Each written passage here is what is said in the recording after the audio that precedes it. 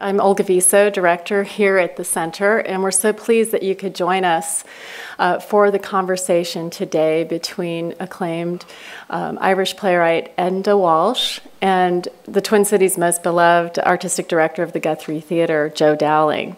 And we actually have um, a surprise guest, an additional guest, which is why you see three seats um, around the the table there. Um, we have in town um, the drama critic for the Irish Times, Fintan O'Toole, uh, who has come here to see the production at the Guthrie. He's here today and is going to participate in the conversation to talk um, about the theater uh, in, in Ireland and beyond. So the presentation of the Walworth Farce is actually the second time we've uh, presented the work of Enda Walsh um, here at the Walker Art Center.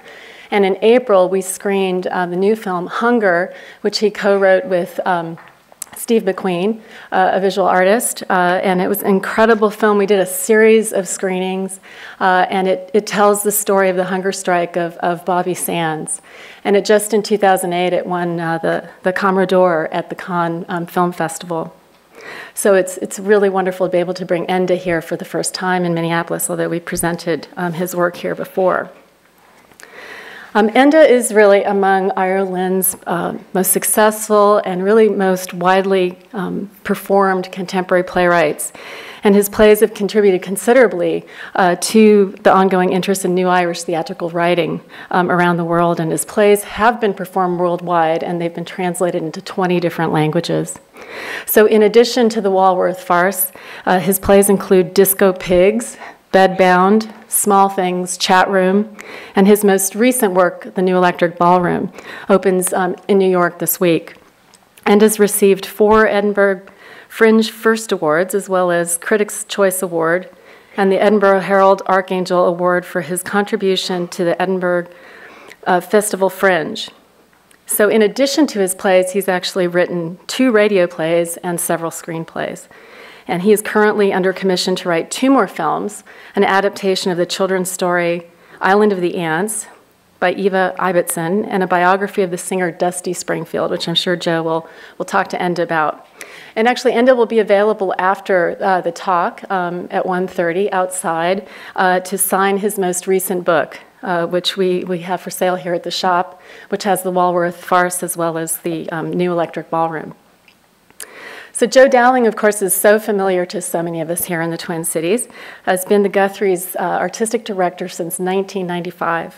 And he's directed more than 35 Guthrie productions during his tenure, including Brian Friel's Faith Healer, in which he's currently making his American acting debut.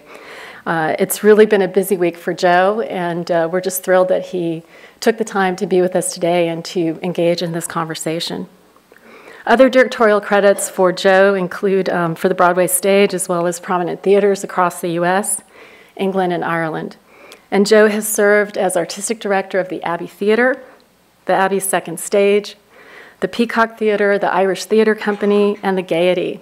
And he also founded the Young Abbey, which is Ireland's first theatre and education group, as well as the Gaiety School of Acting, which is Ireland's premier drama school. So incredible talents. Among all of that, he holds four honorary doctorates and is a member of the Artistic Directorate of the Globe Theatre in London. And under Joe's leadership, his vision for the new Guthrie Theatre became a reality when the current theater, three theater complex opened on the Mississippi River in 2006. Um, in addition, we have, as I mentioned, Fintan O'Toole, who's joined us today. And Fintan is a columnist, assistant editor, and drama critic for the Irish Times, and he's been there um, since uh, 1988. He was also drama critic for the New York Daily News from 1997 to 2001. And he's a literary critic, historical writer, and also a political commentator um, who's just been highly published. So we're thrilled to bring these three individuals together um, to talk about not only the Walworth farce, um, but Irish theater and beyond. So please join me in welcoming Enda Walsh, Joe Dowling, and Fintan O'Toole.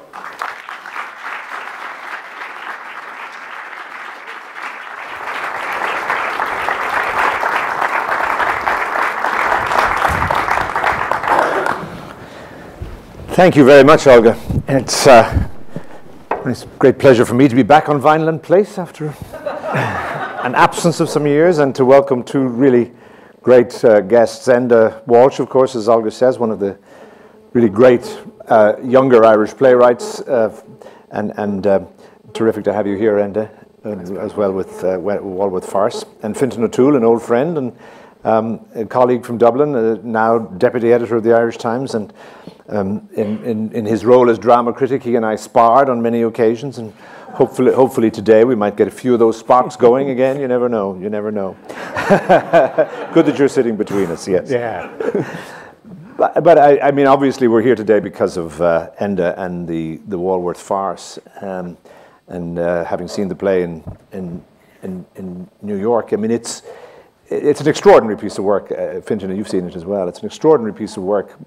Um, and, and so much that you write and that the new generation of Irish writers write, in, in a way, how much does it draw on what has gone before? Because you certainly subvert many of the, of the kind of shibboleths and, and ideas that were sort of hugely important in the kind of classical Irish drama. And how much is that con- you conscious of that, or how much I'm, is I'm that not, just? I'm not. I, I have done, but I'm not. Con- I'm not conscious of it. I mean, uh, I'm a great. Uh, um, I love Irish theatre. You know, very, very influenced by a number of playwrights, you know, throughout of our history. Uh, so it's a, it's in your it's in your DNA and it's in your sort of education and you know what the things that you love and all that type of thing. I didn't sort of personally sort of go out to, but you know you're always going to have echoes of other playwrights when you sort of sit down in front of a piece of paper or a laptop. Uh, you know, like you know you're you're um, you know it sounds so naff, but you feel you feel like you know you are not alone. You know that there are many many sort of like writers around you. And, uh, and I do feel like that, and I do feel, you know, that there's, there's, there's echoes in it. I write fast. So the play wrote in about sort of four weeks, and I got, so I, I feel, I feel completely disconnected to the work as soon as I've, I've, I've, I've, uh, I've written it. It's gone, like, you know, but, uh, so I can look at it very sort of objectively, but I can see sort of echoes of many, many playwrights in there, and images, I suppose, from Irish theatre that we would sort of know uh, the man at the door or the girl at the door or whatever is, is a wonderful image in sort of Irish theatre again and again and again. I do, I do a lot of work in Germany and they're always roaring laughing. They're always going, What is this man at the door thing and woman at the door?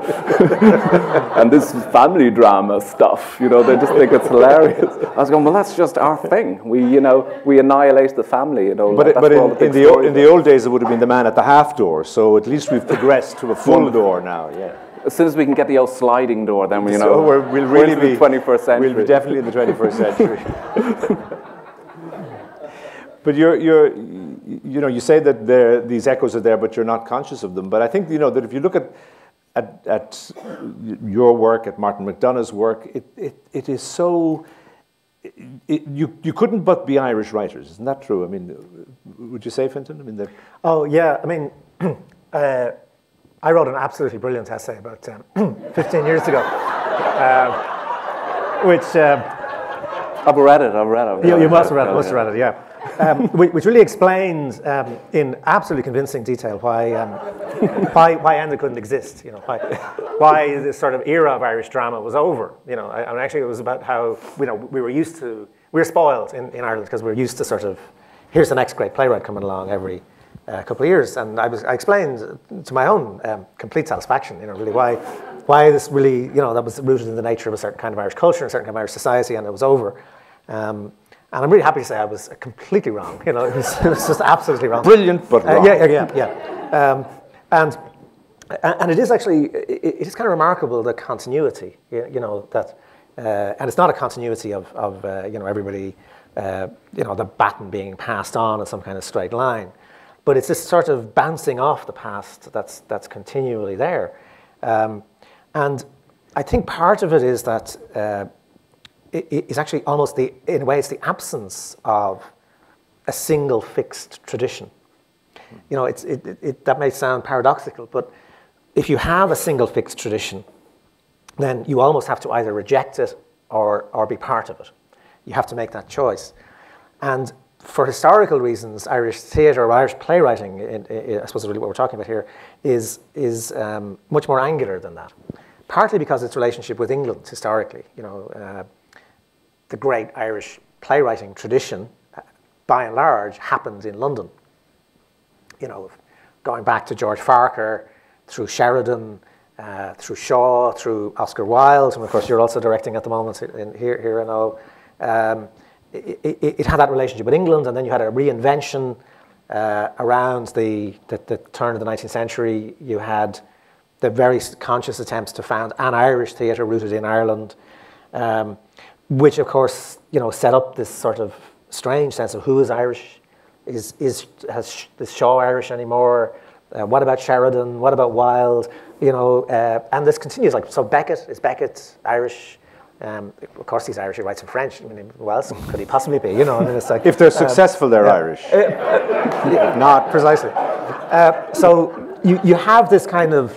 But the interesting thing too, because you're, I think that's a really interesting point about the the the relationship with London, and you live in London now, yeah. and, and, the play Walworth Farce is set in London, and yet it's an a, a, real Irish play. And I'm reminded in it, very different play, but I'm reminded in it of Tom Murphy's uh, Whistle in the Dark, uh, yeah. the, the Irish family transplanted to England. And the, the, again, that continuity, though what you've done with this, because of the, the way you've used the whole farce thing, which is not an Irish tradition.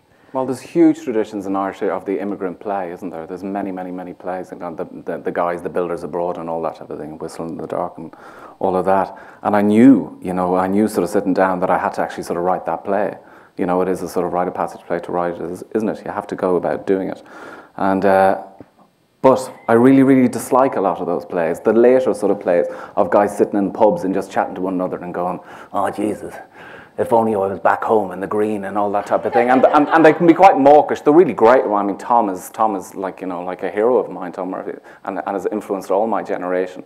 Uh, um, but, um, but, you know, I had to sort of, I had to sort of uh, embrace that and, and, go, well, what is it? You know, what is that sort of type of play, and, and what is that genre of play? So after sort of reading them and all and all that type of thing, I thought, well, I'll, I'll try, I'll try my, I'll try my hand on it because there is something in it. You know, there's there's great lonesomeness there and and dis, you know dislocation and uh, all this type of thing, and uh, and of course there's lovely sort of there's there's very sort of silent, you know, lonesome drama in it, a real sort of heart, a real sort of aching and yearning, you know, that I wanted to do. I don't have any of those sensibilities myself as a person. you know, like I tend to sort of, you know, like uh, a at them myself, but which is a reason enough to actually sort of to investigate them and to investigate those characters and try and sort of feel that for them and, and you know, let it on its way. But the whole sort of farce element thing, I suppose, was a complete sort of shock, you know, that it, it turned out the way it turned out. And this, but the whole other part of Walworth Farce, which is so intrinsically Irish and you take it to a whole new level, is the whole question of storytelling. Mm. Because storytelling is so in, intrinsic to the Irish culture, and, and yet you take it in the play to a level where it's, it, it's actually quite dangerous. Uh, because while it's a very funny play, it's also extremely dark in so many of those areas, and Irish stories tend to, tend to be. Um, God, I had a sort of, I was, I was drinking in the Sackville Lounge um, about like a month ago, which is a pub in Dublin sort of late at night, and there was a guy beside me, you know, that sort of thing, and he was really, really, really in a really dark place. I think he was drinking since about sort of 12, and we came in after, you know, opening up the new electric ballroom in the Peacock, and I knew that I was about to just hear a story, you know, that sort of way. It was about to arrive, you know, but from a really, really, really, really harsh sort of place. But it was that sort of brooding thing in the corner that there's, you know, it was going to be big stuff. It was always going to be, you know, he was going to proclaim something and Irish people, by Jesus, love sort of proclaiming, you know, like that, and history and family and where we are, and you know, politics and all that type of thing. And sure enough, you know, like, and I live in London. I was, you know, I forget about it, and you go back and you go, God, this is quite raw. This is really, this is a big stuff. I mean, it was the drink talking, of course, you know, as well, you know, but like, uh, it was a very sort of, uh, it was a real, really, real, yeah, um, big Irish moment for me. I was like reminded of this person in the room who's just about to go, right, do you know what? And he just annihilated me because now I don't have an Irish accent. I'm talking as a Londoner. So he just went into the whole thing of identity and why am I over there? You know, and how can you tell, you know, you know, call yourself sort of a, you know, a, an Irish writer when you're over there and you're sort of, you, you have this English twang to your accent. So he completely, he was holding on to the, mm. you know, you know, the, the history of Ireland and then fucking attacking me. but you know, you were talking, Fintan, earlier of the the no fixed tr- tradition and that somehow or other. But there's a danger, isn't there, also, which you, you, Enda has avoided, and I think um, you know Conor McPherson has avoided, and others, of getting rooted in that history and in that tradition. It's, it's a really dangerous line you, you, you, you walk between honoring somehow the kind of the writers of the past and what's happened and actually for creating something new. And, and, and you know, it's an interesting uh, thing to watch in, in, your work and in the others. Well, it, it is absolutely fascinating because, you know, um, there, there's no doubt about the fact that there's a, it, it, it's both a source of great strength, I'd imagine, you know, as, as you say, you're not alone but also you're not fucking alone. You know, you've got all these ghosts brooding around you, and and there is this sense of, of um, you know how can you how can you recreate the territory, uh, and I think it is absolutely remarkable, and I think I think it is an incredible achievement by by and, and, and a handful of other people. I mean, over the last decade, really. Uh, to completely contradict my own uh, sense, you know, that, that actually we kind of reached a certain point where, where this sort of literary tradition of Irish theatre was no longer adequate and was no longer capable of sustaining itself. Um, and in fact, it has sustained itself, and it sustained itself in really interesting ways, actually. Um, and one of the ways I think, and maybe this is part of the way that the escape has been possible, is that because you've had this very fractured sense of a tradition, you've had these huge figures, you know, you've all these kind of great male deities up there, but a lot of their work, very, uh, very strangely, has been unproducible in Ireland. So, for example, William Butler Yeats, you know, perhaps the greatest poet of the 20th century, the, the key founding figure in, in, in the Abbey, of, of, of, which you, know, you were artistic director for so long. Most of Yeats's plays are completely unproduced, and some could argue unproduced. Unstageable. Yeah. Unstageable, yeah. But, but they're, they've also, I think, have had a huge influence on, on younger writers. Not necessarily that they only look and they read Yeats and they say, okay, I can, I can write poetry like Yeats, because you don't. But there's really two ways of doing theatre to be absolutely crude and generalistic about it. Um, one is uh, to enact, you know, to, to, play out in front of you a story, and the other is to evoke. And I mean, it's very interesting that you know you're, you're doing Faith Healer, which is, I suppose, a classic piece of evocation. Mm. Um, and the, the, the, evocative tradition is Yeats. Mm. You know, there's the opening line of one of Yeats' plays is, I call to the eye of the mind, you know, and that's summoning up that poetic tradition uh, is also there, but kind of buried because the mainstream tradition has been a sort of naturalistic one. And I think, whether consciously or subconsciously, there's, there's a great kind of resource for Irish writers in being able to sort of rediscover or bring together these different strands of Irish theatre. Um, and in doing that, it's because you don't just have this one stream. You can, you can draw on tradition and at the same time be subversive of a lot of what's gone before. And I think also, you know, just the very simple thing, which is humor. I mean, Mm. Uh, you know, your work is, is it, it's incredibly funny, and and the the antic spirit of humor means that you, you just can't allow yourself to get caught up in reverence for a tradition. So usually when a tradition is being used, say in Martin McDonagh's work or, or, or in Enda's or whatever, you know, it, it, it, it's being used with that great anarchic comic spirit where it's being parodied and at the same time being shaped and reshaped. And I, I, think that's a lot of the energy comes from that. We've all, we all, when we're, whenever we're in the rehearsal room, it is sort of based upon that. You always get a sort of sense that we're deep, because I look at like the and I think that it's an incredibly traditional play. It's a very very traditional play, but you but the, the, the, an abstraction sort of happens, and you can actually sort of watch that sort of abstraction. But it is effectively looking at a sort of a realistic sort of sketch of something, and then begin to see it just sort of break and fold. You know, you know disjoint and all that type yeah. of thing, and fracture and all that type of thing, and re-reference referencing itself and folding in on itself until it's sort of like you know, it's nothing. You know, like it sort of it doesn't exist. You came into theatre. Um, it wasn't in your in your family background, was it? No, no, no. Well, no. My ma acted years and years ago, but before I came around, there's six in the family. So before I came around, she had sort of like she said, "I'm getting out of theatre. There's too many drinkers."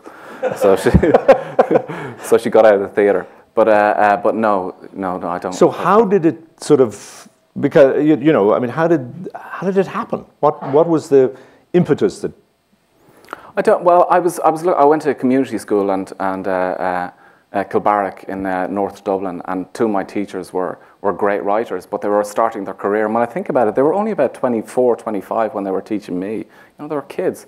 So one of them was Roddy Doyle. Roddy Doyle and the novelist, and Paul Mercier who's like had a massive influence, who's an, who's an amazing, I think a great, great, great playwright.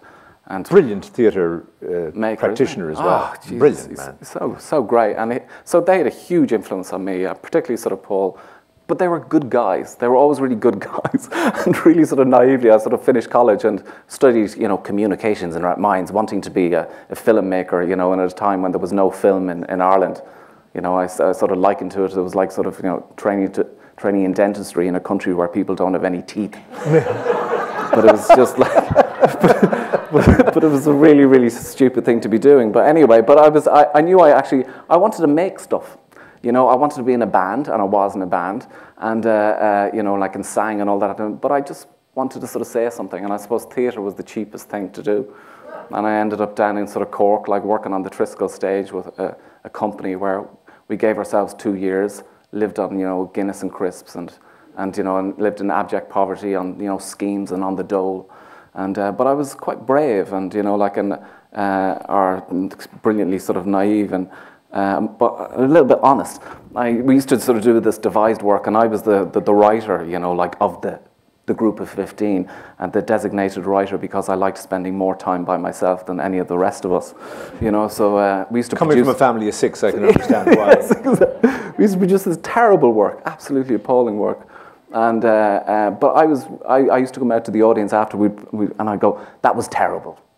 I know it was terrible. Why was it terrible? and you know, like and, oh, and over two years, we actually they, they actually were our dramaturg. You know, they they shaped us, and you know, like and I just want to warn the audience that will not be something we'll be taking up at the Guthrie. I can assure you. you could fly me over. I'll do it. right, ladies and gentlemen. By the way, you're really, really, really doing theatre critics out of work there. I, I have to object to this. If you, don't, if, you, if you want the audience to tell you why it was terrible, why have theatre critics? Well, nowadays we have blogs. That's right. They tell us this no is uncertain pre-blog. term. This is pre-blog. But you, But it you know, it- it's, it's, I'm interested, uh, and this is a very exclusively Irish conversation when I say, here we are, three Dubliners, and Mm. um, you went to Cork. Yeah, I did go to Cork. You know, this Which is there's like going to China. I Well, where you- There, there's a kind of a betrayal there uh, that's really kind of serious. Well, I didn't know, and I didn't realize what Cork was until I arrived down there. I'd never been there before, and I went, "Why? The, why? Excuse my language, but why? Why? Why the fuck are people talking like this? They had the maddest accent. I was going, I have no idea what they're saying, and it's only two and a half hours on the train or whatever it is. So it was like, uh, but it was wonderful for me because I had aspirations of being a writer, but I was no writer. And you know, like, and you know, aspiration making theatre, but I was no theatre maker. But it was sort of like trying to learn a dialect. You know, and I wrote this very naive play called The Ginger Ale Boy about a ventriloquist who has a, a nervous breakdown, you know, and you know, and it was sort of like, a, and, and uh, I played the part and all that type of thing, and uh, but like it actually had something. It was a terrible, terrible piece in many ways, but you know, but it had something in it. And then I wrote Disco Pigs on, on uh, uh, uh, directly afterwards, but which was my sort of, which was my dialogue with with Cork about why are you talking like that? uh, you know, why do you so always see yourself as the smaller sort of person? And you know, and it's you know, a piece about sort of identity and about sort of, you know, striving for something sort of bigger than you are. And and, and Cork as the second city in Ireland is just dramatically, it's very interesting for a play, right? It's just the city itself, the shape of it is very interesting. You know, the fact that it sort of sits in a, in, in a basin, effectively, and there's like there's a, you know, there's there's lots of houses around it, and it's just sort of down here, and it feels quite sort of, you know, damp, and then the people are aggressive. You know, But, and a great literary tradition too, with Yeah. Sean O'Faolain and Frank O'Connor. And, Yes. I mean, it, it, it certainly, the, the, the rivalry between Dublin and Cork is more manufactured than real. Yeah. But it's there. great attitude, great sort of, you know, I suppose it's sort of the, the equivalent of, you know, it's probably Ireland's Texas, isn't it? It's that type of carry on. Somebody will have to help me with that reference. I, ju- I, I just plucked that out of nowhere. It doesn't mean anything. I'm just going to throw it. It's the oil, the oil wells. It's the oil wells in Cork. the Oil wells in Cork. yeah. but it, it- you know, it, there's a there's another point that we were talking about backstage to The the lack of opportunity that you found as a young person wanting to get into theatre. Um, you know, I'm a generation before you, and and when I started in the Irish theatre, you either got into the Abbey Theatre as an actor or you didn't work. That was it. There were no other alternatives. And or, or you got into the radio. There was a repertory company in the radio, uh, and and those two entities were, the, were were literally all that there was before subsidy uh, really took hold with the gate and then eventually yeah. with and, and, and it's a whole different scene now. And I'm, I'm yeah. that's why I was surprised in a way that someone of your generation didn't have more opportunities in Dublin. But I mean, you've watched Fintan the evolution of of theatre over the last 25 years, and, and it has shifted dramatically, hasn't it? I mean, Irish theatre. Oh yeah, I mean, um, you're right. Uh, uh, I suppose it's it's become a lot less institutionalized. Um, and you know, I know you're obviously part of that process yourself. I mean, in terms of the, the, the very painful process of changing the abbey. Mm. Um, you know, the, there was a link, I suppose, between the way in which you had these sort of state-sponsored institutions. You know, you had the, you either had the state um, radio company, which had a, a repertory, um, or, or you had the Abbey, which you know was, was the National Theatre, uh, which had a full-time repertory company, which was never big enough. It was one of those it was like a kind of Soviet Union model, but without the money. so, so you had what? You but with the Politburo. Uh, with the Politburo, and with all, so you, you, had a lot of the drawbacks of having this kind of permanent company. You only you had to go out about forty actors or something, didn't you? With forty yeah. actors on yeah. salary, yes. Which you know, for running two theatres uh, permanently is, is not easy. But some of it was, was wonderful. But you know, I suppose it, it, it it's very hard for Americans to understand. You know, I, I remember when I when I came here first, uh, when I was in New York and somebody asked me about Galway, and I said, well, Galway's on, on the other side of, of Ireland. And he said to me, and so how long does it take you to get there? And, and, and I said, well, it takes about uh, two and a half, three hours. He said, you call that a country? so, um, you know, it's, it, it's so strange. Uh, to you, I'm sure, like Enda's talking about, you know, somewhere it's two and a half hours away on the train, and he doesn't know how they speak. You know, this is like, it's a small place. And uh, one of the extraordinary drawbacks of Irish theatre, really, you know, when, when, when I would have started writing about it and going to theatre first, was it really was effectively a Dublin-based institution. Yeah. And effectively, in, in professional terms, it was two places. It was the Abbey and the Gate, uh, which were, the Gate was, was uh, run by the two great, the, I mean, extraordinary, by, by a gay couple, uh, the, the great actor Micheál Mac Liammóir and, and, and the director Hilton Edwards. Um, and the Abbey was kind of the the national theatre with you know the traditions of O'Casey and Yeats and Lady Gregory and all that sing. Uh, so they were kind of conventionally known as Sodom and Begorrah. uh, and it was, you know, it was really that was what you had. You know, was was was uh, was, was, was that uh, that very enclosed little world, um, which which of course did also produce extraordinary work, because, because, almost because of the enclosure, um, because of the sense, you know, that that uh, that this was local. Um, and what you were seeing on stage kind of resonated very immediately with, with the audience, or could do if it was powerful enough. But I think you know the great kind of shift was was was uh, the realization that there was more to Ireland than Dublin, um, and uh, you know Cork, uh, Galway in the west becoming particularly important, and you know Enda's been working with with the Druid Theatre Company there, which was a really important development. You know, I mean, it's, it's, hard to imagine this. You know, you, are talking about a place which has this great theatrical tradition. I mean, G- Galway, which is a significant city in Ireland, had never in its history, never in its history had a professional theatre company. You know, until the 1970s. You know, so, so you you know, so you, you get both the poverty that comes out of that, which itself can be extraordinary because with the poverty, what do you do? You say, well, what have we got?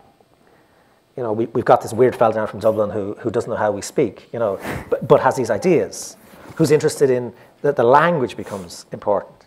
If you don't have the big institutions, what have you got? You've got language. So you, you, you deal with what you have. Um, so you, you, you deal with that. But then you also have this, you know, as that begins to change, you have this sense of, of excitement, of, of novelty, you know, of just beginning to open up. You have Friel setting up um, the Field Day Company in, in, in Derry you have this relationship between writers and theatres beginning to, to emerge. And it's an, it's an incredibly interesting uh, period, I think. And in, in, in many ways, oddly, you know, it, it, that energy, I think, has carried through, isn't it? I mean, that, mm. that in a way, like you're still working off those kind of that reinvention that was happening uh, from the late 70s into the, into the 1980s.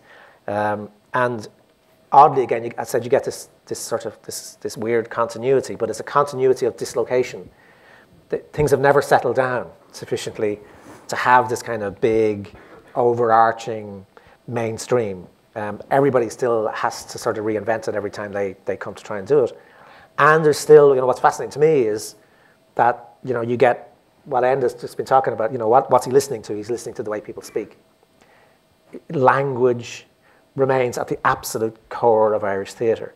And th- this is, you know, why I thought this wouldn't last is because, you know, theatre's becoming much more physical, much more visual, and all of those elements have come into Irish theatre. It is now, I mean, it, it was, it was not accidental. I mean, Yeats said uh, at one point he wished he could put his actors in barrels to stop them from gesticulating and they would speak his lines beautifully. And then Beckett came along and actually put them in barrels. You know? uh, and, you know, there is a very anti-physical um, tradition in Irish theatre, and that's been reversed. I mean, and you see, you'll see it in the Walworth Farce, it's a very physical piece of work as well. Um, but, but, but, one of the amazing things is you, you've got the physicality, and yet you still have the obsession with language as a self-conscious thing. It's, you know, it's, even you've, you know, in the Walworth Farce, you hear like the people as they're speaking, they're conscious of the way they're speaking themselves, aren't they? I mean, it's they are. It's, it's that well, it's that sort of tradition from sort of seanchaí, sort of people standing up in hedges and and you know, like and telling a story, the storyteller in the in the village and things like that. You know that it's. It's also fascinating to me because you talk about Derry and Field Day and the north-south divide being, I mean, the the major dominant thing of 20th century Ireland is the division of Ireland in the 1920s and what uh, resulted from that. And, and, and much of the dynamic, indeed, of, of you know, if you look at O'Casey and you look at, at through to Friel, there is a dynamic that, that goes about the politics. But your work sort of just assumes the politics of Ireland in a way, without actually referring to it. It's a different, again, a different generational thing, I think, that, that uh, it's, it's, we're not as conscious now of those divisions that, that really did motivate a great deal of Irish literature um, through the years. Mm. You know, the North doesn't really feature in your work, does it? It doesn't, but you know, I mean, playwrights don't sort of live sort of like outside of a community. Like we sure. live in the community. Yeah. We live sort of like everything is historically and sort of social. It's all sort of implicit in you, I suppose. You know, hmm. it's all in, it's all in you, and it's going to sort of come out in some sort of way. And there's sort of there's strains in you know in the work and the characters and their anger and whatever, or their sort of love or their loss or whatever. You know that you know that it's it's written in a particular sort of period of time. I wrote a hmm. play called Bedbound, and I sort of I was looking back and I was going, oh my god, right? It's sort of like uh, right, you know. In fairness, it was about the sort of you know I I can sort of see it now. It felt like you know it was it was meant to be a play about me and my dad, and it was effectively about me and my dad's sort of relationship.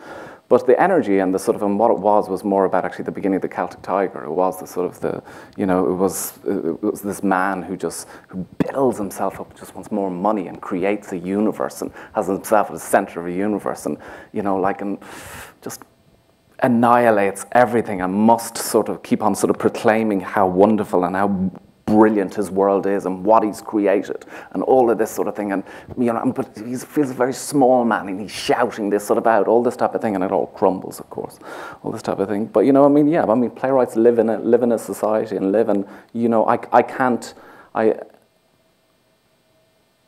you know, I can't write sort of, you know, polemic. I can't write sort of anything like that. Mm. Although I know it will sort of come out in some sort of way. But it is interesting because I mean that, that period you're talking about from the late 70s, early 80s, which was the, probably the worst period in terms of the violence in Northern Ireland and the and the uh, the issues about how this was ever going to be resolved and the hunger strike, which I know you've dealt with in the movie and so on. And, and, and writers sort of almost routinely felt it necessary to write their northern play. And we got a lot of really bad writing, too close to the time, too, um, and somehow or other, your generation and when you came along, it was kind of liberating that in fact these were no longer going to be the the, the kind of, uh, you know, the, the issues, they're there. As you say, they're, they're intrinsic, but they're. There's a, but, but, it's but, but also at times, free. I mean, I look at sort of English theatre and they have this great, I mean, this thing of like doing verbatim theatre, of doing like political theatre or David Hare, you know, this very, you know, and we don't, we don't, we don't,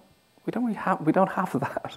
We don't we don't have that. It's too sort of it's too it feels too too soon or too to, mm. to talk about it. Mm. You know, to talk about it in that way and that's sort of overtly sort of political or you know like you know it, feels too it's too soon, right?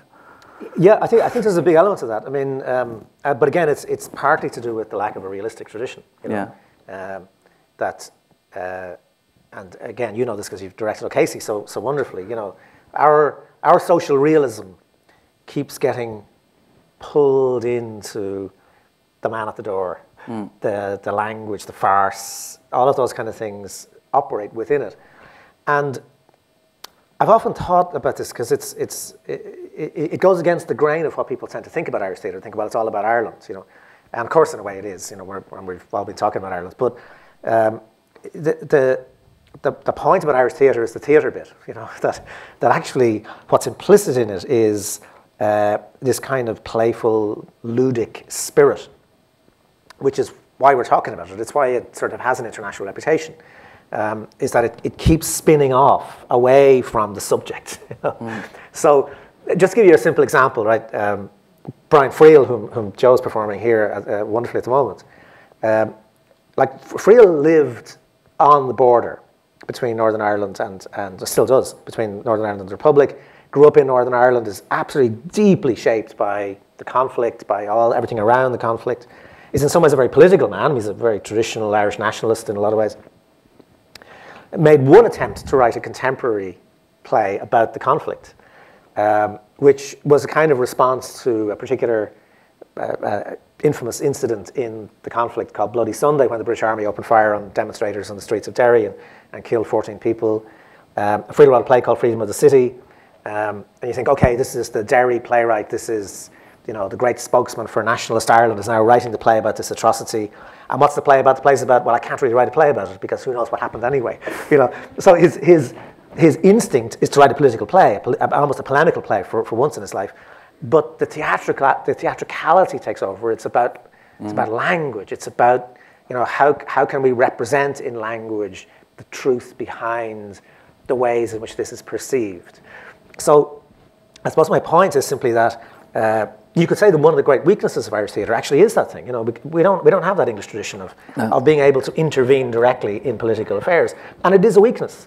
And I think it's been a particular weakness over the years of the Celtic Tiger. So we've just been through this, this boom time, you know, when we were um, the, the great poster child for free market globalization around the world. Uh, this, this huge kind of transformation of Ireland into this, this very, very wealthy globalized society we're now reverting, thankfully, back to the 19th century. but uh, it's going to be interesting you theatrically. You. Uh, yeah, uh, but but there there are no Celtic Tiger plays. There are no successful Celtic Tiger plays. Mm. We actually couldn't write about it because of this thing about the closeness, but also because uh, when anybody sets out to start writing it, the, mm. the the impulse is so metaphorical. It is, yeah. That somebody immediately starts thinking, maybe this could be a version of Antigone, or you know, maybe this is like I'm going to use the Irish sagas to try and, you know, uh, just, no, you just actually write a play about, you know, somebody working in uh, an IT factory. No, I can't really do that. and, even, and, even, and even Passion Machine, even Passion yeah, Machine yeah. And, and, Studs, when you think of that, I mean, written in, at the time of the Great Recession, like in the 1980s, and the wonderful, but it's metaphor, right? I mean, it is, and it's barely, sort of, it's yeah. barely there. I think the, the best political play written in Ireland in the last 50 years is Brian Friel's Translations, mm. which is a play that absolutely explains in very clear and very beautiful terms the origins of the conflict in a way that if he had written it in a more contemporary vein, yeah. would have, people would have found either polemic or would have been arguing the but he he takes it back to 1832 and says the two things that changed Ireland in the middle of the 19th century one was the um, uh, ordnance survey maps changing the names of the places and therefore changing destroying tradition that had begun before and the second was the introduction of um, uh, primary education for all children and, and all taught through English and and suddenly he he to a uh, I, I, I, think you were probably there too. The first night in Derry, uh, this play, in, uh, uh, in many ways, a deeply subversive play, um, played in the Guildhall in Derry, which was the seat of unionist power in Northern Ireland and, and, of course, gerrymandered power.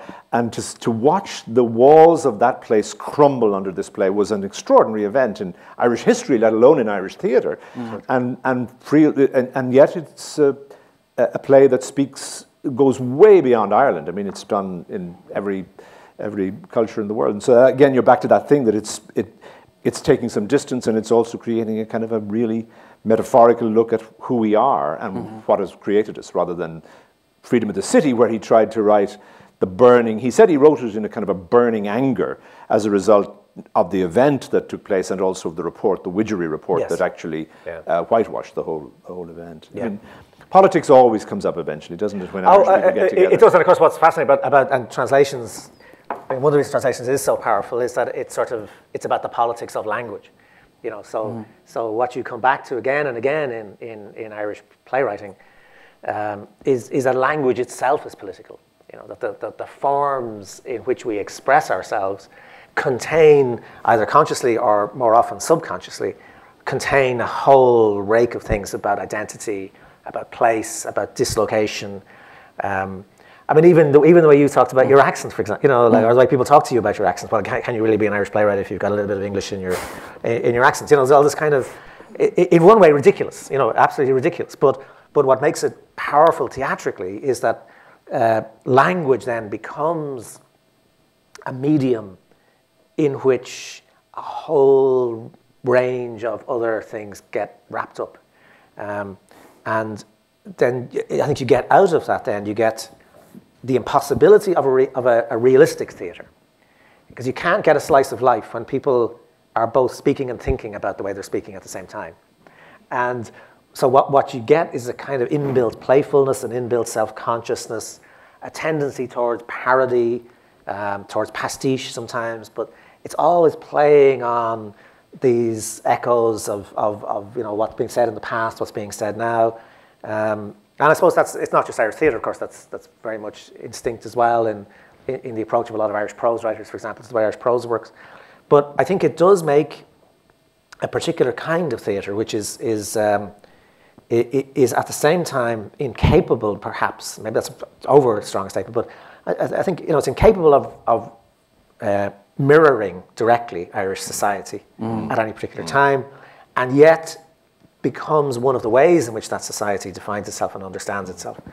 Um, and you know, there's a simple metaphor here, which is we go back to metaphors, but you know, in um, in the 19th century, Stendhal, the great French writer, has a has a line in um, uh, Scarlet and Black, his novel about a novel. He says a novel is a mirror walking along a high road. And at the same time, in Ireland, you've got Maria Edgeworth. It you know, is, is he, she's using the image of nobody can hold a mirror up to Ireland because if you do, people wouldn't like what they saw and they'd break the mirror. And this image of the, the cracked mirror, Oscar Wilde uses it. James Joyce, of course, famously uses it at, in the beginning of Ulysses, where Buck Mulligan is shaving in the, in the mirror and it's cracked, and he says it is the image of Irish art, the cracked mirror of a servant. And the cracked mirror is really what you get all the time in, in, in Irish theatre. It is reflecting, but at the same time as it's reflecting, it's also fragmenting and making new shapes. And it's that ability to make new shapes that makes theatre interesting, isn't it? Yeah. Fascinating. Tell us about the new Electric Ballroom because it's your next. It's coming to New York next week, Thursday, yeah. Thursday, Wow. yeah, Next Thursday, yeah. and you you started this, that. this Thursday. What are we today? Yeah. You started that in Galway as well with uh, Yeah, the Druid with Company. Druid, yeah. With Rosaleen Linehan, one of our favourites here. She's played a number of times as the Guthrie, Yeah, yeah. playing in it. Just tell us a little about it. Well, it's sort of like again. I mean, like it's sort of. I mean, the, where where the Walworth Farce was was effectively sort of about the relationship between me and my brothers. Strangely, uh, um, the uh, the new electric ballroom is, is the starting point in it. Is it uh, is, is from um, well a couple of things, but uh, but but it's it's my primarily my mom's coffee mornings. And uh, I was interested in, uh, as a boy. I, I used to love. I loved the company of older, older women, like much, much older women. And I liked, you know, like I just liked, you know, like you know, watching them sort of discuss things and putting the world, you know, you know, to right and all that type of thing. And so as a starting point, it was that. But I knew I wanted to write a version. I wanted to write a sort of a. I, I, I finished the Walworth farce and then directly wrote the, uh, um, put put it away and then directly wrote the new electric ballroom the, uh, the, the next week. And I wanted to write because I, I, liked this, this notion of just creating theatre in living rooms.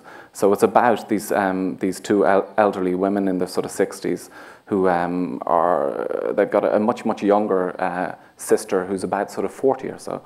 And uh, she comes home from the sort of, the, the, the, the, it's, it's set in a rural village, you think. Not that I know anything about rural villages, but she sort of comes home and she dresses them up as their 18 year old selves and uh, uh, sort of with sort of with costumes and sort of wigs and you know makeup. And and she gets them to play the night that their their heart was broken um, by the same man and uh, so the play is about, well, why the hell is this 40 year old woman actually doing that? And what is she trying to sort of get at? And, uh, and into it comes a man, a fishmonger, who just keeps on bringing fish, more and more, more and more fish. And then it's sort of like, you know, like, a, and it's, and it's, it's, it's uh, effectively, it's a story about a 40 year old woman. You don't know whether she's torturing them or whether she's the nurse. And, uh, but she, she is the sister, and she's trying to, she's trying to learn about love. She's yet to feel anything, feel anything. And uh, she knows that actually she needs to sort of break out of that little routine and begin to, begin to risk sort of falling in love. So it is back to sort of, for me, you know, I am amazed that we actually live the way we live as human beings, that we do get up in the morning and we go, right, another day. I can't believe it. You know, it's, I can't believe we do what we do and we go to sleep and we get up and we, and we get going again and we do it and we keep on doing it and it is that. It is the sort of it's it's it's, it's you know pushing up in a sort of a door. Or today for me, the the Hilton the Hilton uh, hotel in Chicago Airport. I'm going, oh god, and just put, put out that door. I, got, I have no idea what the hell's going to happen today. I'm being really really terrified of that, and uh, um, and loving it, and sort of like in. Uh, uh I've always been a very very anxious sort of little boy, and and now big man, and, and uh, you know, and I, but it's, it's, it's probably a good thing for, as a playwright to have that. You know, it does amaze me. It does sort of surprise me that you know that we, we live the way we actually sort of do as people. You know, so it is about that. It's about risk. Fascinating. We're going to open it up to the audience now, and. Um, we have, I understand, microphones, and they're going to come to you with it. So if you have questions, we would love to hear them. And um, wait till the microphone gets to you because we want to make certain that we all hear the question and that it's uh, properly picked up by the sound system. There's a gentleman over there. Hi, I, I have a silly question to ask you about Walworth uh, farce. Um, you said you wrote very quickly, and yeah. it takes the majority of the audience a little while to cotton on to what's taking place. Yeah. Does that mean we must both, we must all see it twice before we really get it, because we wrote it spontaneously, or is it okay not to understand it for the first half of the first act? It's, it's, I think it's okay. I mean, my, I think it's okay not to sort of understand it, but it is understandable. It does all completely make sense. And uh, it all sort of like, it all, you know, in terms of the farce, because people get caught up and they go, oh my God, I have to understand this bloody play? You know, this sort of this, the elements of this farce. But it actually, it, it, it does all sort of hang together. But I always really feel for the, I really feel for the audience at halftime because I go, oh my God, you know, would I go? I would, might, I would probably go, but thanks be to Jesus, a lot of people come back because you are only seeing actually 20% of the show. You feel that way. It begins to answer itself. And that was, I've never written an interval before and they're the most difficult things to write, right? You know, like it's sort of like the notion of people going out and having a drink and coming back into the theatre. But you know, farce actually demanded demanded that it be written the way it's written. You know, so really, you know, like I've there's no there's no history of farce in Irish theatre, I don't think, or whatever. So you know, but but you know, I I, I had to learn it. You know, like and just the, the, the, notion of these men living in London and the sort of in a, in a, flat and, and farce existing in the West End and it's sort of farce seeps down into the mud and goes underneath the Thames and comes out and sort of, mm. you know, and grows up and then exists in some sort of form. That was, so became sort of interesting to me. I completely agree, I'm sorry. You know, like, I'm sure, I, am glad, I, I'm, I'm, glad, I'm glad I wasn't in your head. That's all I can say. Irv Weiser could you describe the difference in your process, creative process, between writing a play and writing a movie? Yeah, um, big difference. I mean, I, I mean, I, I, I, when it comes to sort of writing plays, I, I, don't like getting in the way of it. I don't feel, I don't feel it's, it's, it's authored by me. Uh, really, I think the logic of the play sort of has to sort of has to exist on sort of stage. So I do sort of write completely from the from the character's point of view. I have no notion of where the play is going to go. Uh, it was a surprise to me that there was a knock on the door and guys arrived in with a coffin, you know, a, a, you know, a paper coffin. I was going, oh Jesus, it's a farce. I mean, that was a complete surprise to me. I don't set out to. I've only ever once set out to write a play, and it was terrible. You know, to write to, to, to story to, to to find the story for it, and it was a terrible, terrible play. And uh, and I'll never ever do that again. I think it's just the characters need to write it and they need to shape it and it needs to feel very organic. With screenplays, by Jesus, I mean, it's just all about craft, you know, like it's all about, you know, just your, you're writing this unwieldy sort of, you know, in this big form, and I, I find it very, very, very difficult. And, and, and, there's lots of hands on you, producers, you know, whacking you and all that type of thing. It's quite sort of tough. But I like the discipline of it. But I'm just much, much more aware of craft. While in theatre, I, I'm a fan of theatre. I love it, and uh, uh, I just write from the gut. You know, I don't like to sort of get in the way of it. You know. Roger. Uh, I was very struck with the uh, tight choreography all through this play. Yeah. And I'm not familiar with your other works, so I don't know whether that is a characteristic of all your plays, but uh, it was very striking. It had, has this been something you've always done, or was this a new No, it was new. It was, what? uh, it was completely new. Previously, like sort of, like, like Victor would say, previously it was just people getting up there and and a bedbound was set in a bed. It was a father and a, and a, and a daughter in a, in, a, bed talking at one another. So there was no stagecraft to it. But the farce demanded, you know, like the farce demanded the shape that it was. And it was a real sort of surprise to me. But, uh, um, you know, I worked with, I can see Mike, I haven't seen, hi Michael, the director's up there of the, of the Walworth Farce. And, uh, um, and he came over to London when, I, when I'd written it and we read it together. And we could sort of see it in our heads. And we had sort of great sort of fun doing it. And uh, he's, he's worked, you know, really physically before. He's a, a Lecoq trained sort of actor and, you know, was going to br- always bring that to it. But dramaturgically really, really helped me and pulled the play closer together and found the ending that, you know, the, the, the ending was sort of, I was avoiding the ending because I really didn't want to, I really didn't want to end it that way because it was just so heartbreaking for me to, to sort of, to imagine that poor, poor guy. But anyway, but, but anyway, people are going to, people Don't are give oh, the end away. Some okay. people haven't seen it. It's, re- it's really happy. and uh, he goes to Broadway and makes a fortune. Lady. You mentioned uh, working with the Germans and that they could not understand this image of the girl in the door. Would you speak a bit more about living in England, how long you've been there, and working with people of other countries, German, American, English, and Irish, and how different cultures or countries may perceive or understand theater? What are the differences, but what are basic human similarities that you have found in your experiences? Okay. Wow. Okay. All right. Let's sort of just take off my shoes. Uh, um, right, I put an enormous question, but um, uh, I, direct, I, I, I, directed I directed Bedbound in Italian before I, I, I directed it in um, in English. Uh, I don't have any Italian. Uh, but it really sort of, it, uh, I can't stand words, you know, just word, talking words. And, you know, as much as I'm sort of like married to them and I have to create these images and I have to use these bloody words, I would love to sort of write something that doesn't have any of that, but I have to. And I can't do dance, so I have to actually sort of use it. But I, I, I like the shape of drama and I like the sort of shapes of narrative and the emotional sort of arcs of characters. So when it came to sort of in Italy, you know, I'm, I'm working in Italy, I'm working in German, my German isn't that good, but I enjoy watching my plays where I don't actually have to listen to them. I don't actually understand the words. It makes me sort of appreciate, you know, or see the weaknesses of where the play is uh, emotionally and how the sort of arcs of the characters sometimes, and when the audience fall out of it. And I can sense that without any sort of words involved. Um, I'm interested in very sort of physical presentation of, of, of roles, and this is something, you know, I'm, I love American actors, American stage actors.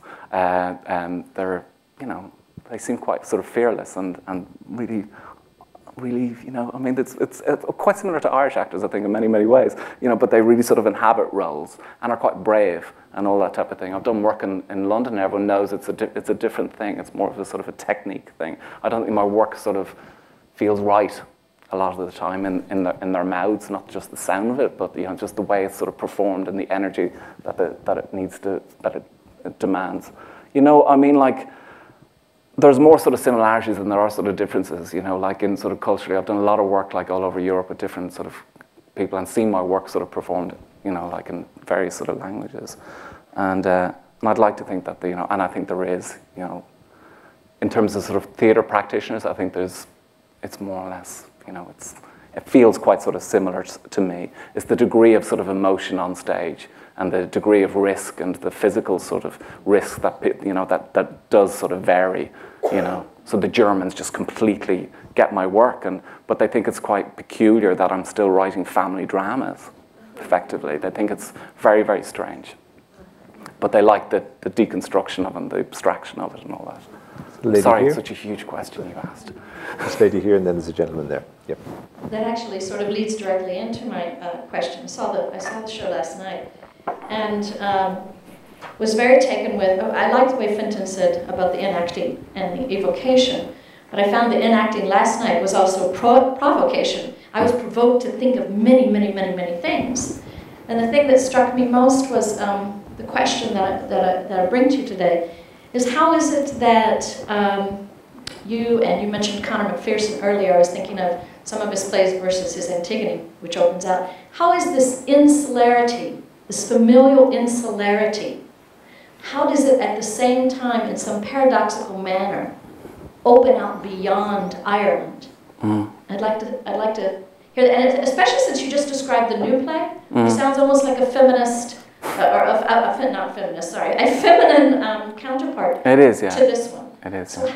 How do you, or do you even think about that? I don't think about it, but I mean, like, I really, I, I don't think about it. But I think what it is, what it is, is like, I mean, I, um, I mean, you are having a dialogue with yourself, right? I mean, you're trying to sort of reach into yourself, of course, and you know, and shake up yourself and ask, you know, like, you know, big questions or sort of like, and, and so the, the work tends to be tends to be sort of very sort of insular and, and folds in on top of itself and has nowhere to go. A lot of the time, I mean, I'm sort of like, I, I'm aware of the sort of the, the big stuff of actually being a writer and it's all been written before. And what the hell am I going to bring to the table? Am I bringing anything at all? So I, I do like to sort of pour a lot sort of like of like of actually anxiety in terms of I'm nothing. I've got nothing to say. I don't exist. I'm not bringing anything to the party here. You know, like and you know, like and in some way that way is it, it, it makes me sort of you know um, investigate, I suppose, myself a lot. So all the plays are effectively about theatre, about writing, about you know what's the point of it, you know um, uh, that it that it just begins to sort of it eat, eats eats itself into sort of like into into into nothing, and and and so a lot of it is about me actually sort of getting through the day and actually you know it's my relationship with bloody words that I can't do anything outside of what I can do, and it's sort of I enjoy it but it really frustrates me that I'm not a bloody plumber. Where actually I could, I could really actually bring something to the world. You know, like and you know, like you know, like real good stuff. You know, do you know what I mean? You know, I mean, but that is the dialogue. You know, that I feel as if I'm having a lot of the time with it, and also wrestling with the sort of medium. You know, that the characters need to proclaim and proclaim and proclaim, but to what? you know, to what? And, and, you know, construct societies and construct sort of rules and, and, you know, like mechanisms within their living room or, you know, like, you know, to what end? Only to try and sort of escape them again, but then probably build more and more sort of routines and, and patterns and all that type of thing. So it's very, very sort of, I know it's- very, very universal and biggest influence on my life, you know, of course, you know, would be my, my father. And, you know, like, and, you know, he was a furniture sort of salesman and living in Ireland, through, you know, furniture is the first business to go in, in a recession, and Ireland is just constantly lives in and out of sort of recession. And you know, and that was my theatre sort of growing up was seeing this man who was wonderful on the shop floor, could adapt to different sort of situations. But I was aware of this bigger machine and this this political sort of you know the huge thing of just of collapse of impending sort of collapse at any moment. And I used to have a paper round when I was a kid you know, a very successful paper round around Raheny. And I used to count my money on a Friday. And in the middle of the recession, I used to look at my dad counting his money, and I'd have more money than he bloody had. So I was just like aware as, as a boy of like of real like, you know, those sort of um, strains upon the sort of the nine to fivers. You know, the people who have to go out there and you know and do a living. So all the plays are you know effectively sort of about routine, about people caught in patterns and routines, and the larger threats that they feel that they have to either stay in the job, stay in the world, or actually try and break out of that. There's a question here. Could we get a mic down here? There's a question this gentleman has here, and then there's one over here as well. Well, let's take one here first, and then we can get the mic down here. Yes. You were talking about the kind of mechanisms and architectures of a living room space and that kind of insularity. I feel like in the Walworth farce, there's the ghost of Joe Orton and Luke sort of just waiting to from the center of the stage. And so I had one question just about how that sort of an influence, and as you were working on it, um, that, that kind of tradition that's outside of an explicitly Irish tradition. Um, and then I have a question about Hunger, um, which is an intensely visual and visceral film. Um, what it was like to collaborate with Steve McQueen, how much you were involved in the visuals, and uh, the really striking 15-minute sequence that's purely dialogue, the only real dialogue-driven scene in that whole film between Bobby and the priest. Um, what uh, whether you, you wrote that entirely or, or what kind of collaboration was really involved um, throughout the film, but particularly in the moments uh, where we get to hear words yeah. spoken. Uh, well, the Joe Orton thing, of course, I mean, like, a, you know, would be a fan, but it is like, it is, we, we don't have a tradition of farce. Uh, um, and I didn't really actually read any farce, you know, Molière or anything like that. I mean, when I was when I was a kid, I was interested in Irish theatre, and that's about it. So I actually had to sort of pick up books and begin to learn the sort of constructs of that.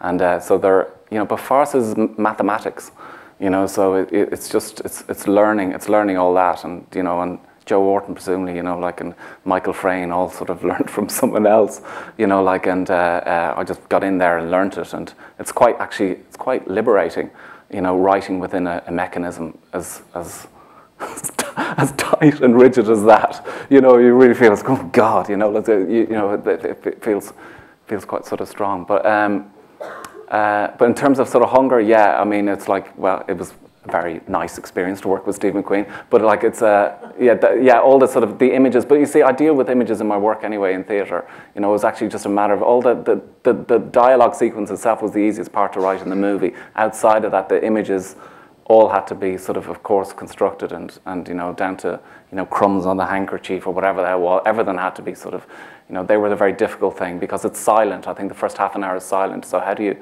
how do you, how do you create some sort of like you know narrative sort of strain so you feel as if the story is actually moving in a forward sort of trajectory as opposed to sort of just a, a, an artistic sort of insulation installation piece in a gallery you know? So we it's it, it's it's a very sort of conventional movie actually but you know because it does sort of move forward through sort of the, the conventions of, of film but uh, um, but he, he pulled it off good on him so.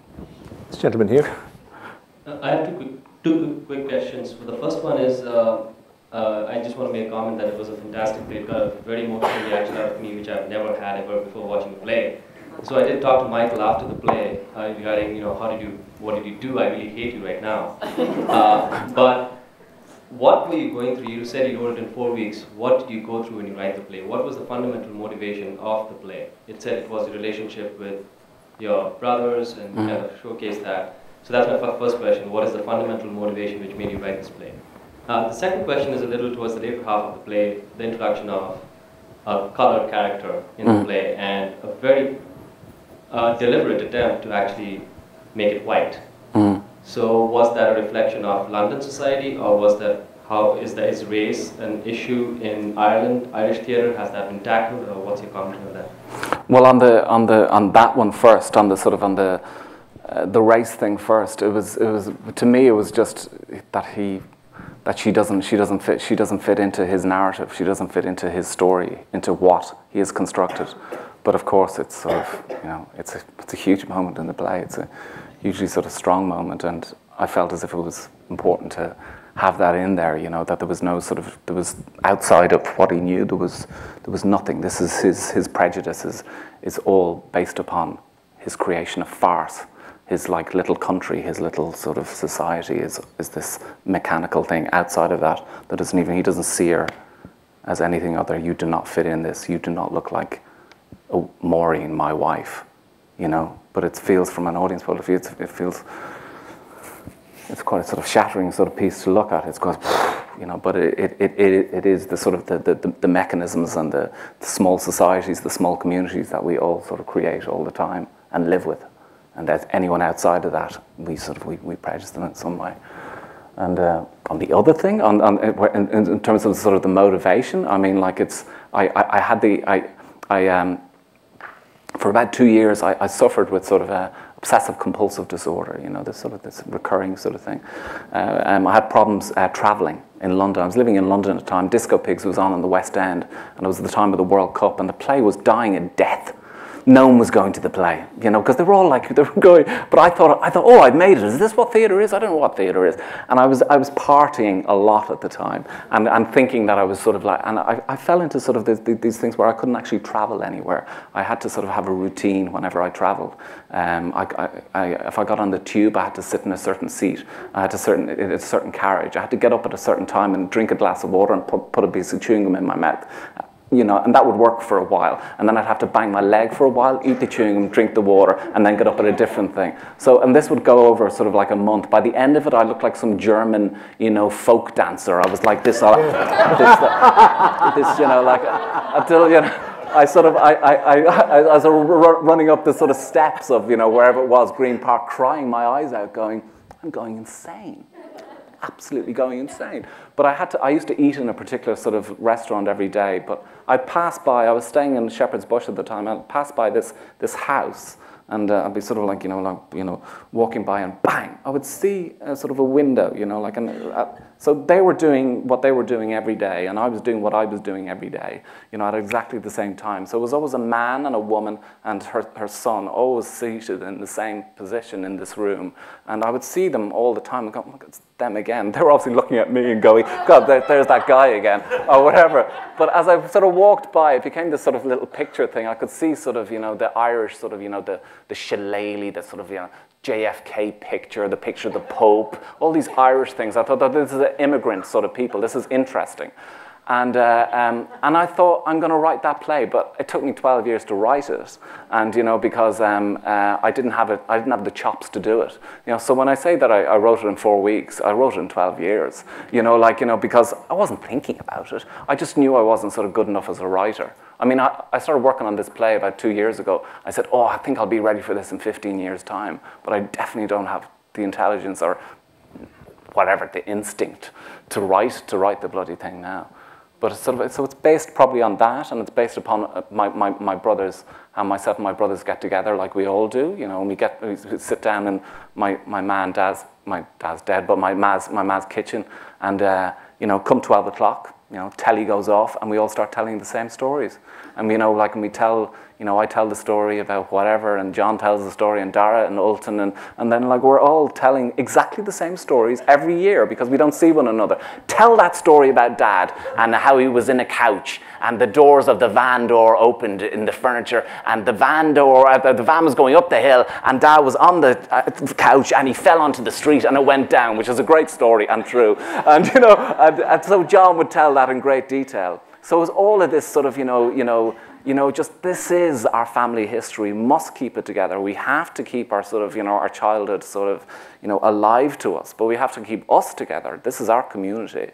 You know, outside of that, you know, bugger them. You know, this is us as four brothers. You know, not even my poor two sisters were involved in it. But, you know, like it was just about us. And, you know, I'm proclaiming these stories again and again and again. I'm just feeling, you know, you would walk away from these sort of nights just feeling like, that's it. That's good enough for a year. Now I don't have to see them for a year. I'll tap in a year's time. So there's that. Do we have a question over here? Uh, where am I looking for the mic? Up there, yes. And uh, uh, thank you so much for coming. I was wondering if you could talk about Irish sense of humor, the yeah, in theater. Well, I don't know. Well, I, well, I, well, I don't know what it is, because, but, but I tell you what, I live in London now, and I really, really love going home. I mean, I mean, I forget just how much bloody Irish people talk. I mean, i have worked with Mikel Murfi over there now. He's in the new, Mikel's in the new Electric Ballroom. He's acting in it, and I directed the bloody thing for my sins. But you know, he talks more than me, right? And I, I'm a bit of a yapper when I get going. But I really, really like being around, like you know, people who are just, just, just chatters who talk and annihilate things and, you know, and just keep on sort of like talking. And, uh, and yeah, there's great sort of, you know, wild sort of levity in there. I think Irish people like the surreal. I'm a big fan of sort of, you know, Flann O'Brien and all, those, sort of, all that type of sort of writing. It's very dense work, very strange and bloody, bloody funny. But, uh, um, but yeah, I think, you know, my, my, my work sometimes in sort of in, in, in the UK, people can go, oh God, it's just sort of, you know, it's the bizarre Irish people fucking yapping to one another and, and telling sort of jokes and all that type of thing. But I don't really care. And, you know, and, and, and that's just, that's just, that's just the, that's just the way it is, you know. I suppose if there's a defining characteristic of Irish humor, it's it's um, it's deadpan. You know, it, it, it's that the gap between the awful and the very funny is really narrow. so therefore, you you know, the straight face becomes part of the humor, which is is this funny or is it not funny? Um, I must, I, I, I, must tell you, appreciate this. There's a, there's a, very personal sort of matter, but I don't mind it. You know, I don't, I don't, I don't, don't mind sort of sharing it with you. When, my, when my, my dad, my dad died about sort of like you know nine years ago, and we were all in the room, and as a family, we were we were all in the sort of like he, he, he died in hospital, and uh, and um, he was you know he was cancer, so like he was he was out for about sort of two days. But as a family, we weren't all together for years, for about sort of like you know seven years, and we sort of like as a whole sort of family. And, uh, and we got together and we finally got together and he died. He died. He's, you know, like, and he was sort of out and we were all there and we are all looking at one another. And of course, we were all crying and, and all this and losing it and losing it and just, and in and, and, and, you know, for an hour or so. It was really, really quite upsetting. And then, uh, and then I said, uh, a man walks into a doctor with a strawberry up his arse. And the doctor looks at the strawberry and goes, You could do with some cream on that. and we just fell around the floor and it was a wonderful it was a wonderful wonderful moment. I mean because my dad my dad would have so sort of appreciate that joke but it was brilliantly and then the crying started again. I was like it was but it, but it was a wonderful wonderful moment. My best moment. Perfect definition of irish humor i think. This gentleman over here. You talked a little bit about uh, families get together and tell stories in this way of preserving this small community. And, sort of, seems to me that theater also does that. It's a, historically getting together and telling stories is a way people identify themselves. But the Walworth farce and also the Brian Friel play sort of work as a repudiation of that. The, the stories aren't to create community, they're, they're to annihilate the truth. Um, to, to hide something that people don't want to talk about. And I, I wonder if you talk about that a little bit, maybe about how if, if that, since of Brian Friel play also has it, if that's sort of an ongoing theme in Irish theatre. Sounds like a Fintan question.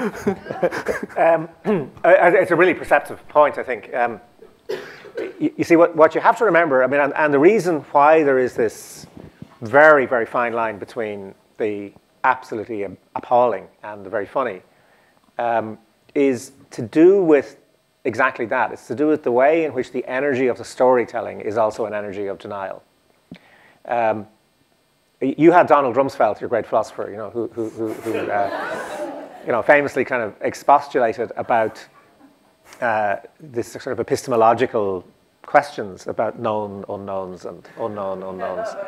Um, and in Ireland, I think we've, we've had a kind of special variation on that, which he didn't even think of, you know, which is uh, the unknown known. That it, within, because it's a, it's a very screwed up society in a lot of ways, I mean, you know, which is why it's good at theatre.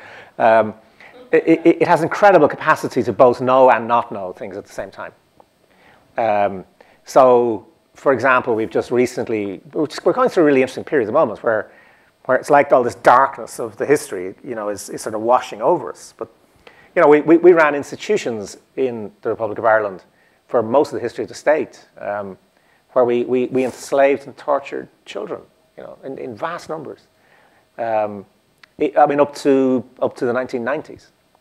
Um, the Republic of Ireland incarcerated a larger proportion of its population than any other known society ever. Uh, between prisons, industrial schools where it locked up children, Magdalen homes where, where women who were in moral danger or who had, ba- had, had babies outside marriage were locked up um, and mental hospitals, where huge numbers of people who were, who were not mentally ill were, were incarcerated. So the silence uh, is the background against which the manic energy of the language emerges. And, and you don't have one without the other. Um, if, if we were a healthy society, the sort of energy of the language it, you, you, know, you, you, have to think about Beckett as, you know, it's, the, the, Beckett does kind of encapsulate so much of this, which is, you know, if you think of Winnie buried up to her, up to her ditties in the bleeding ground, as somebody says to her, you know, she's buried up to her neck in sand, and the language just coming out. that's a bit of what you're getting, you know, is, is, is this sense that there is a buried silence. And you've got the language on top of that, which is, which is sort of coming forth. And there's a comic energy to that, you know, which is there's nothing else we can do except speak or except, you know, use this language and let it come out. And then the language becomes extraordinarily interesting and playful and, um, you know, acquires all this kind of angularity to it. But at the same time, what you're not seeing and not hearing is the repression and the silence underneath it. Um, and that, I think, is where um, you know what Enda is doing, or, or, what's in Faith Healer. And I, I, think you're right. There are really interesting connections between the ways in which language is used in both of those. Is you know what makes those plays so powerful? Actually, is that sense that um, that repetition, the repetition of certain stories, becomes a way not of expressing anything, but, but of um, encapsulating the silence. So that, so that the language is really a function of what you're not saying rather than of what you are saying.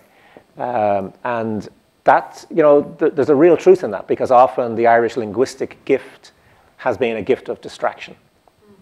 You know, it's, it's, we're going to talk about this to avoid. And it's like, you know, you know, you get a kid and you, and you say, you know, did you just break that plate? They'll start saying, you know, I, I, I, was at school the other day and there was something really interesting happened and, and, and I saw this guy and it was, it was a great thing and then I was in the playground and this, and was, you know, you know, distract, use language to distract. And one of our psychic disturbances is that we, we use language as a form of distraction. Mm-hmm. Um, as I'm doing now, because I can't think of it. but, um, we'll take one more question if we have it. Oh, there's a gentleman over here. Can we get a mic up there? Just one more question, because we've got to uh, make sure everybody can get to the show.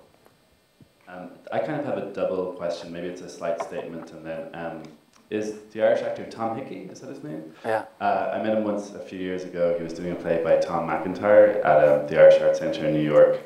Mm. I remember him talking to me about um, the the role of the playwright. You know how it's like a special calling. You know, a special thing that you can't be an actor and a playwright because that's just not the way it's done. And there was this real kind of you know, hugely romantic, sort of almost like shamanistic projection of this figure of the playwright, which I feel uh, Ireland has both benefited and suffered from. And um, I'm interested in this younger generation of Irish playwrights who came up in a much more collaborative sort of space, you know. Um, and but at the same time, I'm wondering is the way in which they're not writing these kind of grand plays that sort of project a nation is that related to a kind of a simultaneous uh, reduction in, in a kind of ego or ambition or something? Uh, and my second one, which is the question, is related to, uh, uh, to Beckett and to language and to this idea of language as distraction. And you know, Beckett famously wrote in French to kind of get away from the, the whatever, Kiltartan or, you know, just, just the Irish way of writing. And I'm wondering, um, Enda, if you ever feel like it's, it's just too easy, you know, that you want to like, is it, are you cheating, you know? Like, do, would you ever want to sort of get away from that language, and do you ever think you could, like, or or would that interest you as a gesture? Which to to begin to write in French or German? No, almost like, almost like um, just not directly to kind of step outside. I, I mean, this is just, a, a, I'm curious about this, to kind of step outside that identity but I, language. But, but I, uh, to step outside the, the, sorry, say that again. Well, maybe like, you know, write a play set on Mars or somewhere. Or, yeah. You know, I mean, that's a silly suggestion, but, you know. Yeah. Well, my favourite play of mine is, called is called The Small Things, and it's set in Lancashire. Well, it's sort of set in sort of it uses sort of a Lancashire. Lancashire. I like, of like really all the plays that I've sort of written. I've got no notion about what it is to be those people, and that's why I actually sort of write them. I've got no notion what it is to be sort of a 65-year-old woman living in a sort of a rural village in you know in somewhere in Ireland, surrounded by fish. But that's a good enough reason for me to actually sort of write it. And you know, like our, our, our you know, a, you know, an, an 85-year-old Lancashire woman who's the last person to talk in the world because everyone else in the world has lost their tongues. That seems like, uh, you know, so I always feel as if I'm actually sort of, I'm effectively like a middle class sort of boy from Northside Dublin. That's a very dull, that's a very dull person to be. And I would never actually sort of write a play about my life you know, because you know it's it's it's it's a very sort of dull thing, you know. So I mean, I always feel as if I'm actually I am sort of writing and I am performing, and when I sort of write, I tend to sort of you know perform the characters because I want to inhabit sort of different people and different logics and different worlds. You know, of course, you're writing about your whatever tiny soul I might have or heart I might have, and my uh, minuscule intellect that I certainly have. You know, but but you know, but yeah, I mean I don't know. I mean, I, I just, I, I always feel as if I'm completely sort of just observing where these characters are going to go or how, you know, what they're going to do or, or you know, and, and that's, that's, that's, that's a reason enough for me to, to be a playwright, you know, to, to step outside middle class and the world from Northside Dublin, you know, for a while. Well, thank you all very much indeed for coming. I want to thank Enda and Fintan for joining me here this morning, and um, thank you. Well done.